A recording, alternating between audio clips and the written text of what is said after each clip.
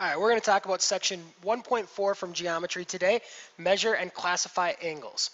So let's talk about what an angle is. An angle is actually an object made from two rays. So it, they share a common endpoint, those two rays, but go in different directions. So they go in different directions, but they share an endpoint. So really, if we name an angle, what we need is we need three points to name an angle. So the first way we can name this angle is given the three points, is and to do signify an angle, we use this little symbol. That really, that right there means angle. So the first way we can name this angle is doing ABC. Notice that the point that they share in common is in the middle there. So angle ABC. We have ray BA and ray BC that make angle ABC. The next angle we could name is angle CBA. We cannot do BCA, we cannot do ACB because those A and C are not connected to each other. All right, one more thing that we could name this one, since it's one angle by itself, all alone, we could name this angle B. That's the angle they share in common. And I'll show you why we can only do it on ones that we can have in common. Let's look at these angles. So we have a bunch of different angles here. First angle we have is WXY. So I can call that one angle WXY. I could call it angle YXW. And I'll show you why in a second I can't call that angle X. You might already see it. We also have ZXY. So we have angle ZXY, which we could also call angle Z, or sorry, YXZ. YXZ. We have one more angle in there that's kind of harder to see because that's the whole thing. WXZ. We have angle WXZ. We could also call it angle ZXW. Now if you look up there, we really have three combinations of angles. We have the blue combinations, we have the red combinations, and we have the green. All of those are the same angle, they're just named flip-flopped. So that's why I can't call it X. I can't call it angle X because which one are you talking about? Are you talking about WXY? Are you talking about YXZ? Are you talking about ZXW? Which one are you talking about? All right. So let's talk about the main types of angles that you guys are going to learn about. The first one is an acute angle. It's so adorable that it's pretty small. So an acute angle is less than 90 degrees. An acute angle is less than 90 degrees. It's so adorable, you can't even control yourself that you think it's so cute. An obtuse angle, that is more than 90 degrees. So it's greater than 90 degrees. You guys look at that. A right angle, what a right angle is, is that it is equal exactly to 90 degrees. And we signify a right angle with that little symbol or that little box in the corner there. That little box right there you're going to sit down in, that means it's 90 degrees. And a straight angle, I think you guys could guess, that's just a straight line. If I could draw a straight line, right? That is a straight line, doesn't ever bend, just goes straight. All right, so let's look here and let's classify these angles, what kind of angle they are. So KIL, KIL, that is my angle right here. If we look at that, that's less than 90 degrees. So it is adorable, and you love it so much that it's acute. It's such a cute angle. Is an acute angle. All right, H-I-K. H-I-K. That angle right there is obtuse. It is more than 100, or sorry, more than 90 degrees. So it is obtuse. All right, a right angle. A right angle means that we have 90 degrees and it's not shown up here, but we should be able to tell that, that is a 90 degree angle. We have a couple different angles we could name it, but I'm going to name, name this one J-I-H. We could also name it J-I-L, but I'm going with J-I-H. A straight line, or a straight angle, is going to be that flat line, remember? So I'm going to name, name that one angle H-I-L. Again, I could go backwards and name it L-I-H as well. Angle addition, what that means is when I add up two angles, I'm going to get the combination of those two angles. So what I mean by that, let's show an example. It's really hard to see without an example. So angle addition, let's do angle M-A-T, M-A-T plus angle T-A-H plus angle T-A-H. And what does that equal? Well, that equals the whole thing, which is M-A-H. Angle M, and I'm running out of room, so I'm going to move those over here quick. MAH. So now let's fill in the pieces. We know what the measure of angle, and I should really put my measure in there. This is the measure of angle MAT equals the measure of angle TAH, which equals the, and I'm going to rewrite that, the measure of angle MAH. All right, so let's put in the measures that we know. We know what the measure of angle MAT is. Well, it's 25 degrees. We know what the measure of angle TAH is. Well, it's 30 degrees. So all we have to do now is add those up. What's 25 plus 30? It's 55 degrees. So the measure of angle MAH equals 55 degrees. Now I put that little m in front of the angle. What that means is you're talking about the measure of that angle, okay? So, measure of angle ABC equals 44 degrees. So ABC equals 44 degrees. How do we figure out the rest of those pieces? Well, I know that this piece equals 5x plus 2. I know this piece equals 7x plus, minus 6. And I know that ABD, the measure of angle ABD, plus the measure of angle DBC is going to equal the measure of angle ABC. So let's plug in the pieces, okay? So we know that 5x plus 2 plus 7x minus 6 is going to equal 44 degrees. Now we have to do is solve it. Put our pieces together. We get 12x minus 4 equals 44.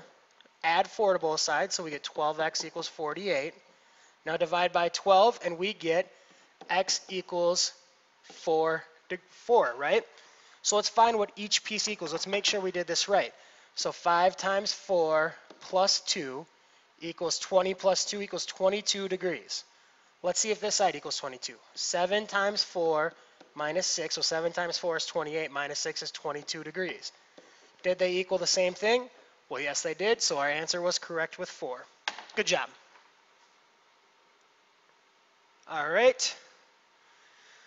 Now, given that measure that angle KLM is straight angle, find the measure of angle KLM and measure of NLM. So we know that those two angles added together equal 180 degrees. So all we have to do here is we take our piece 10x minus 5 plus 4x plus 3 equals 180 degrees. Because we know a straight angle is 180 degrees, and we know that the measure of angle KLN plus the measure of angle NLM equals the measure of angle KLM. And now all we did was plug in our pieces. So now let's combine our like terms. So 14x minus 2 equals 180. So 14x equals 182. Now we divide by 14, which means that x is going to equal 13. Now we have to check our work. Let's see if this actually works. So I'm going to plug in 13 for 10 here. So 13 minus 5. So I get 130 minus 5 is 125 degrees. Okay, let's do the same thing here. So 4 times 13 plus 3. So 4 times 13 is 52 plus 3 is 55 degrees. Now I need to take these two and see do they add up to 180. Well, 125 plus 55, heck, they do add up to 180. So we did it. We got our answer. All right, let's do one more here of this. How many degrees are those going to add up to? Well, it's kind of shown in there. This is going to be a right angle. So that means that that is 90 degrees. EFG is 90 degrees. We also know that the measure of angle EFH plus the measure of angle HFG is going to equal the measure of angle EFG. All right, so let's plug in the pieces we know. We know that EFG is 2x plus 2. We know that the measure of angle HFG is x plus 1, and we know that EFG is 90 degrees because of that box. So let's combine our like terms. 3x plus 3 equals 90. Subtract 3, so we get 3x equals 87. Divide by 3, x equals 29. Let's plug it in to make sure we're right here. So 2 times 29 plus 2. 2 times 29, that's 58, plus 2 is 60. So that means that this has to be 30 degrees. Let's figure out if it is. 29 plus 1, That equals 30. Does 60 plus 30 equal 90? Yes, they do. So our x is absolutely correct. All right, sorry the video is going a little bit long, but we have a lot we need to cover in this. So first thing, congruent angles. Well, not first thing, the next thing, congruent angles. Congruent angles, they are going to be the same measure no matter what. So if you look, this measure may get brought up and may be that big. So that might be a bigger part. But look at this. If I bring this guy over, our two angles are congruent. What it means is that our angles are congruent. It doesn't matter if our segments are raised, if they're congruent. All that matters is that the angles are. There, see that the angles are the same exact thing there. The measure is the same in between those two rays there. This is going to be the same as this. Notice that. They're the same exact thing. So that means congruent. Angle bisector, just like a segment bisector, what an angle bisector does is it cuts the angle in half. That means that this piece is the same as this piece. And with angles, what we do is we draw those little little semicircles in there to show you guys that those are congruent. All right, well, let's stop trying to explain it here. Let's do some examples. So let's look at this one. YW bisects angle XYZ. So we know right now, okay, we know that it's bisected. That means that this angle is the same as that angle. That's the symbol I was talking about to mean that those angles are the same. We know that XYW is 18 degrees. Well, if this is 18 degrees, all right, well, if that's 18 degrees and they're the same, we know that this is also 18 degrees. So XYZ, well, really, all that equals is XYZ, well, I, I'm going to write it out so you guys can see the measure of angle xyw plus the measure of angle wyz equals the measure of angle xyz. Well, we know this is 18 plus 18, and that's going to equal 36 degrees. So the measure of angle xyz equals 36 degrees. That simple. All right, so BD bisects ABC. Find x, then find the measure of ADB and the measure of ABC. Well, again, we know that this is the same as this. That means that this has to equal this. They have to be congruent. They have to be the same. If they are the same, they are equal. So what do we do to solve it? We set them equal. So 4x minus 2 equals 3x plus 18. I'll just solve from there. So subtract 3x from both sides. So we get x minus 2 equals 18. Add 2 to both sides, and we get x equals 20. Now, is that what we have to do? Is that all we have to do? Well, we had to find x, but now we also have to find ABD. Well, ABD is over here. It's 4 times 20 minus 2. Well, 4 times 20, that's 100 and... Sorry, that's not 120. That's 80 minus 2, which means that's going to equal 78 degrees. So the measure of angle ABD equals 78 degrees. Now we could go ahead and just multiply that by 2, but I myself, I want to check my answer to make sure we did this right. So I'm going to do 3 times 20 plus 18, which is going to equal 60 plus 18, which is really going to equal 78 degrees. So if you look, these two are correct, which means our x is correct. Now we have to find ABC. And ABC is double ABD. It's really 78 plus 78. So the measure of ABC is going to equal 156 degrees.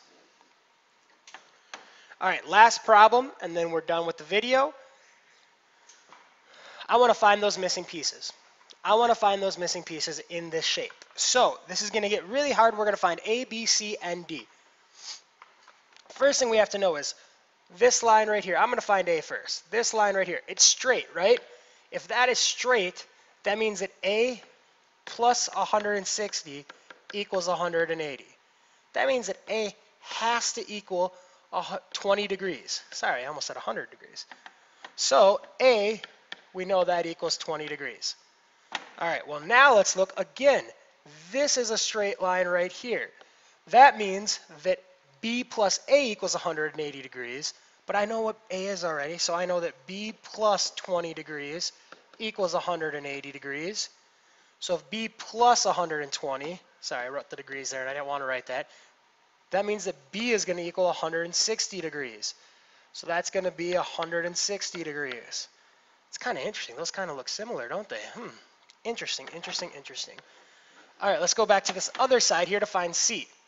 Well, if we look at C, this part right here, that sure the heck looks like 90 degrees to me. That looks like 90 degrees. That means that C plus 75 degrees equals 90 degrees. Subtract 75, C is going to equal 15 degrees. C is going to equal 15 degrees. All right, now the tricky part here. D. How in the world are we going to figure out D? Well, if we look, this line right here equals 180 degrees, doesn't it? It's going to equal 180 degrees.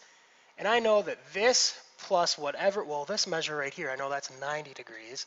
So that plus that plus D, so let's do that. So D plus 90 plus 15, that's going to equal 180 degrees. So I know that D plus 105 is going to equal 180, which means all I have to do is subtract that now, and I'm going to get D equals 75 degrees. Look at that. Look at all you guys can accomplish with what we know. That's all I'm going to do for the video. I know that if you guys printed out the slides, there's two more slides on there. Go ahead and feel free to try those problems on your own. Let me know if you guys have any questions.